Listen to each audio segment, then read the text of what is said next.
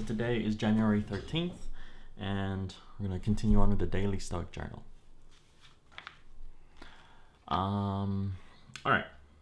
What can I put outside my circle of control?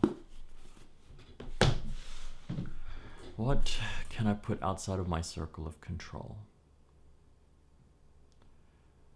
I think that's the whole theme for me this year. Um, I feel like I've got too many things that I want to do, too many things that I'm trying to control, but I just quite simply just don't have enough time. So I'm trying to let go of the things that I shouldn't be doing or I shouldn't be doing right now, just so that I can focus on the things that I want to be doing.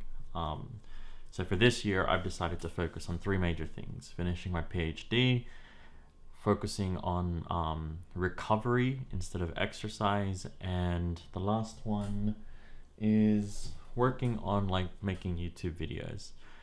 Those are the three things that I want to have in my control circle. And then I've got other things that I want to control, like how often I go out, how often I see my friends.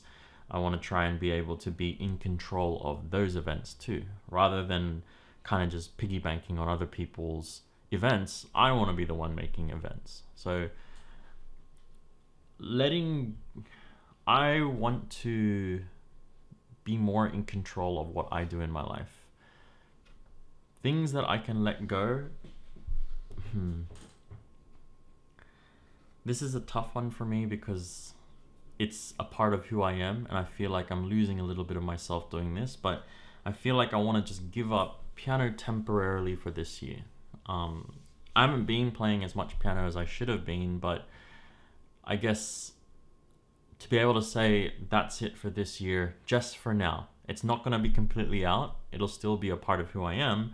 It's just while I have this PhD, this massive thing on top of me, I feel like I can let that go. Um, other things that I can let go. Hmm.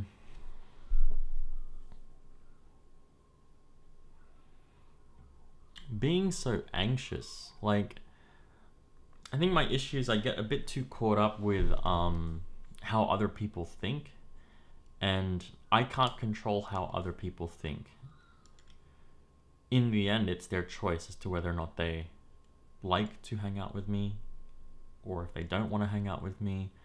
The only thing I can do is be in control of what I do. Like, if am I inviting them out?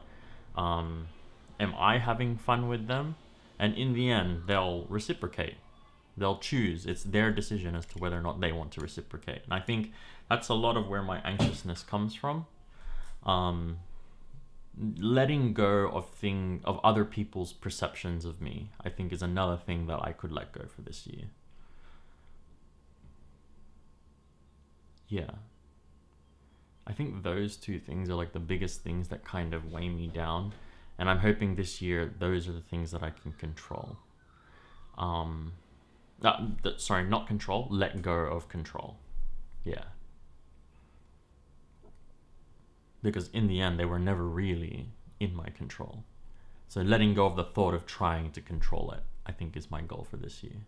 So the first thing is letting go of other people's perceptions of me and letting go of piano um, unnecessary tasks that I know that I won't have the time to be able to keep up for the year.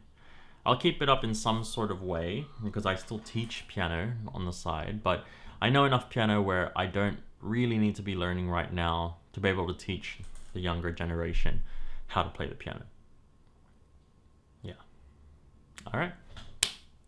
Day 13.